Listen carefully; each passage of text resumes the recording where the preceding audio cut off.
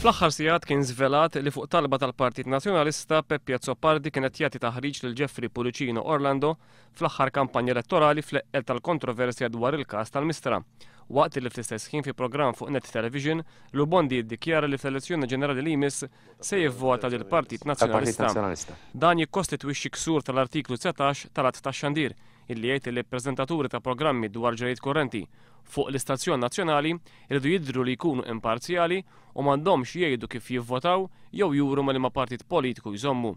Minkejja dan il-PBS qed jiddefendi bl-iktar mod qawwi il-pożizzjoni ta' Azzopardi u ta' Bondi u qed jgħid li l-Awtorità tax-Xandir ma għandha l-ebda saħħa illi tinforza l-Artiklu 19 fuqu bħala l-istazzjon nazzjonali. Il-PBS qal illi jaf jinforza dan l-artiklu fuqu nnifsu, però, dan isir biss, fi żmien ta' elezzjoni ġenerali. Dan minkejja li fil-liġi inkwistjoni ma hemm xejn li jillimita l-infurzar ta' dan l-artiklu għal żmien l-elezzjoni ġenerali biss. Għall-istazzjon nazzjonali fil-każ ta' Bondi u ta' Azzopardi ma hemm ebda kwistjoni ta' bilanċ u l-kwistjoni kollha għandha x'taqsam mal-udjenzi li jsegwu l-programmi tagħhom.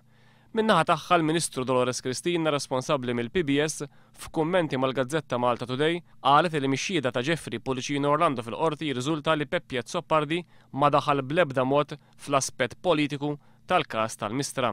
Għal Cristina l-fatt li Peppy Azzopardi għen lil Pullicino Orlando biex skont hija jasal għall-verità ma jikkostitwixxi bl-ebda mod xi ksur ta' etika jew kunflitt ta' interess. Il-Ministru faħħret lil Azzopardi għal dak li sejħet bħala l-impenn tiegħu li jgħolli l-livell tad-dibattiti pubbliċi f'pajjiżna permezz tax-xogħol tiegħu fuq ix-xandir. Dolores Cristin esprimiet ukoll il-fiduċja sħiħa tagħha fil-Bord tad-Diretturi tal-PBS u anki fil-Kap Eżekuttiv.